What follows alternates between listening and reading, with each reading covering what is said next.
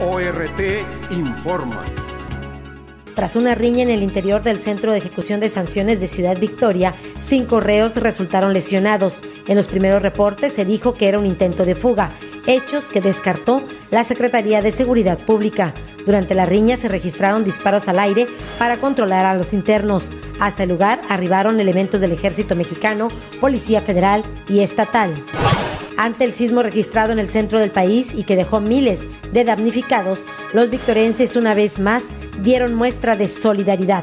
En menos de 36 horas, Organización Radiofónica Tamaulipeca logró recolectar toneladas de víveres en el centro de acopio que instaló a beneficio de las familias afectadas. La Secretaría de Educación exhorta a las escuelas a activar protocolos de seguridad que les permita salvaguardar la integridad de niños y maestros en caso de que se presente una situación de riesgo. Más de 5.000 tamaulipecos se encuentran en pobreza extrema en 20 de los 43 municipios de la entidad y esto obedece al envejecimiento de la población, el desempleo y la baja escolaridad.